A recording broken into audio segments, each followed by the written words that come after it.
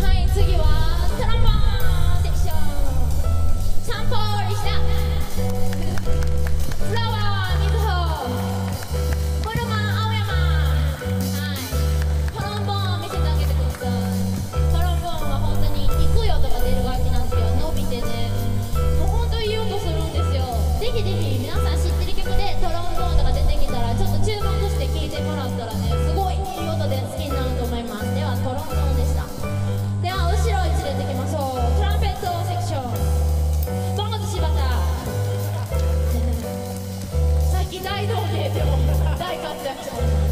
トニー棚からダーム井上チップスカオルコプリマサコキャンディー千秋シナモンまゆみはいトランペットセクションも見せてあげてください。トランペットちっちゃいんですけどもう本当に迫力のある音が出る楽器で本当にジャズに欠かせないんじゃないでしょうか。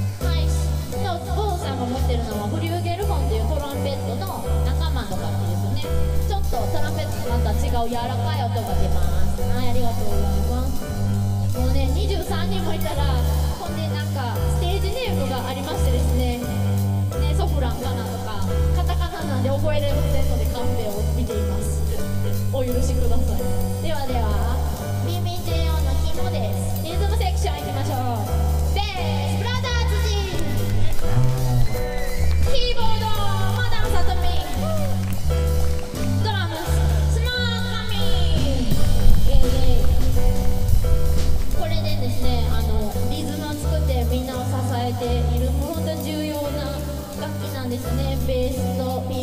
アノとドラムです。